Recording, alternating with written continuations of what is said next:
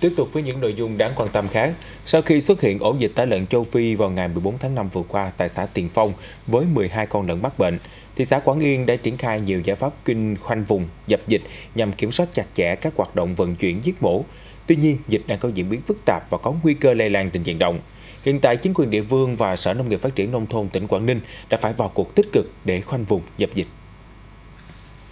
Theo đó, ngành nông nghiệp khuyến cáo trong thời điểm dịch tả lợn châu Phi vẫn đang diễn biến phức tạp có nguy cơ lây lan cao, các hộ chăn nuôi lợn tiếp tục thực hiện nghiêm theo hướng dẫn của chính quyền địa phương và các cơ quan chuyên môn, chủ động thực hiện các biện pháp phòng chống phun thuốc tiêu độc khử trùng, vệ sinh chuồng trại, đảm bảo dinh dưỡng cho đàn lợn không tái đàn trong thời điểm này. Người dân không vận chuyển tiêu thụ lợn bệnh chết, không giấu dịch và thực hiện việc tiêu quỹ lợn bệnh theo đúng quy định, hạn chế thấp nhất thiệt hại do dịch gây ra. Hiện dịch tả lợn châu Phi đã xuất hiện tại 4 phường xã của thị xã Quảng Yên là Tiền Phong, Liên Vị, Tân An và Minh Thành, với tổng số 24 hộ có lợn nhiễm bệnh.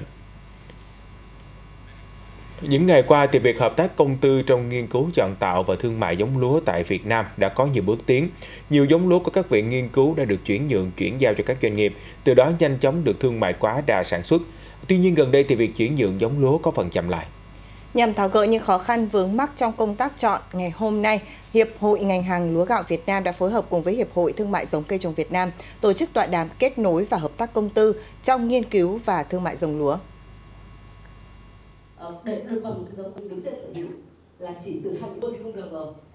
nhượng chuyển giao kết quả nghiên cứu khoa học sử dụng vốn nhà nước đã được phổ biến. Bên cạnh đó, các đại biểu cũng thảo luận về những khó khăn trong quá trình hợp tác công tư, từ đó thúc đẩy công tác chuyển nhượng chuyển giao giống lúa. Điều này giúp đảm bảo quá trình hợp tác chuyển giao đúng với pháp luật, đảm bảo quyền lợi các bên bao gồm tổ chức khoa học nhà nước, doanh nghiệp và trên hết là người nông dân được trực tiếp gieo trồng lúa có được giống tốt với giá cả hợp lý.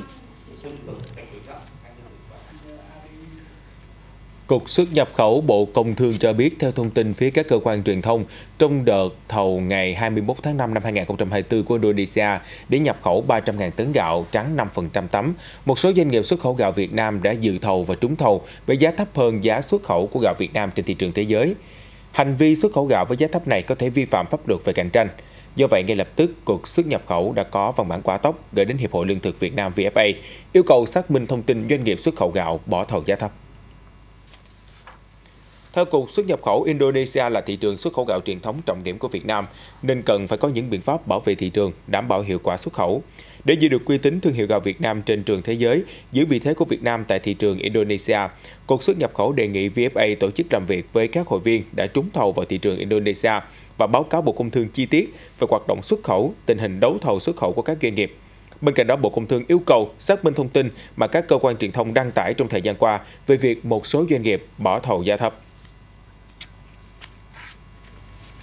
Liên quan đến việc xuất khẩu gạo, Bộ Công Thương cũng đề nghị VFA tuyên truyền phổ biến đến các hội viên để nắm rõ và nghiêm túc thực hiện các quy định của pháp luật về kinh doanh xuất khẩu gạo, pháp luật cạnh tranh và phòng vệ thương mại. VFA cũng phải tăng cường theo dõi hoạt động xuất khẩu của hội viên để kịp thời báo cáo và đề xuất biện pháp xử lý về Bộ Công Thương và các cơ quan chức năng có liên quan nếu có. Việc báo cáo phải thực hiện trước ngày 31 tháng 5.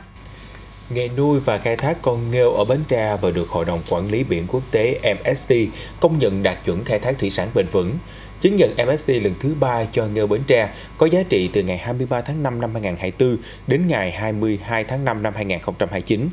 Trước đó vào năm 2009, nghêu Bến Tre đạt chứng nhận MSC lần đầu và tiếp tục duy trì chứng nhận này vào năm 2016. Đây là lần thứ ba Nghiêu Bến Tre đạt chứng nhận này. Chứng nhận MSC được xem như là một giấy thông hành và là điều kiện để mở rộng xuất khẩu nghêu Việt Nam sang các thị trường trên thế giới.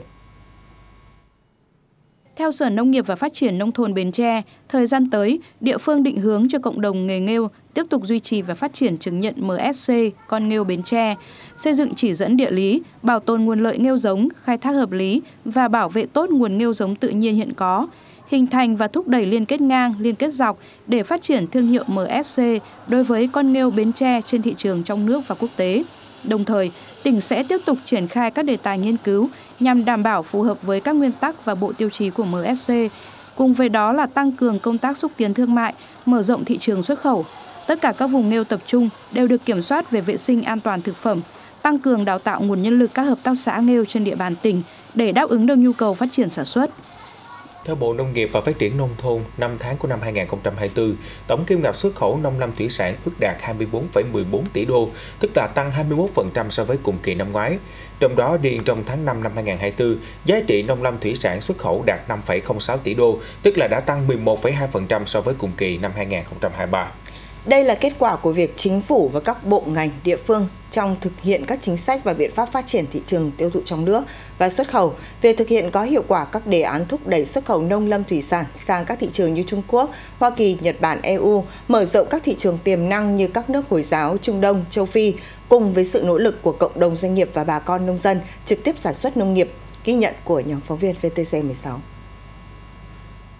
Báo cáo của Bộ Nông nghiệp và Phát triển Nông thôn cho thấy, 5 tháng đầu năm, tổng kim ngạch xuất khẩu nông lâm thủy sản ước đạt 24,14 tỷ đô la Mỹ, tăng 21% so với cùng kỳ năm ngoái. Đóng góp vào kết quả này, có giá trị xuất khẩu nông sản ước đạt 13,11 tỷ đô la Mỹ, tăng 27,7%, lâm sản đạt 6,58 tỷ đô la Mỹ, tăng 22,7%,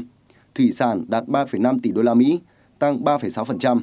chăn nuôi đạt 199 triệu đô la Mỹ, tăng 5,6% hầu hết các mặt hàng chủ lực đều có giá trị xuất khẩu cao hơn cùng kỳ năm 2023, như gỗ và sản phẩm gỗ tăng 23,6%, cà phê tăng 44,1%, gạo tăng 38,2%, điều tăng 19,3%, rau quả tăng 28,1%,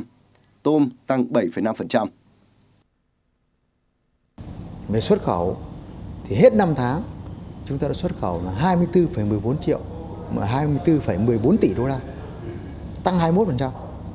và cái tặng dư thương mại là 6,53 tỷ tăng 64,5% đấy là cái kết quả mà 5 tháng. Thế và chúng tôi tin chắc rằng với chỉ đạo trực tiếp của thủ tướng sự cố gắng của bộ nông nghiệp và các tỉnh thành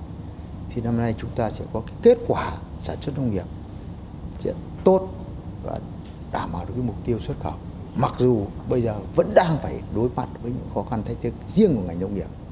với sự chỉ đạo của Thủ tướng Chính phủ nông nghiệp vẫn đạt những kết quả rất đáng khích lệ. Đó là về lúa gạo thì chúng ta đã đạt 17,84 triệu tấn, tăng 2%. Và năm nay mục tiêu là sẽ xuất khẩu trên 8 triệu tấn gạo. Năm 2023 đạt 818,13 triệu tấn. Thì năm nay chúng ta cố gắng bằng và vượt. Thứ hai về chăn nuôi thì đàn lợn tăng 3,8%. Đàn gia cầm tăng 3,3%. Như vậy là cái nguồn cung thực phẩm cũng sẽ ổn định. Và phấn khởi hơn là cái giá của sản phẩm chăn nuôi tăng sau nhiều năm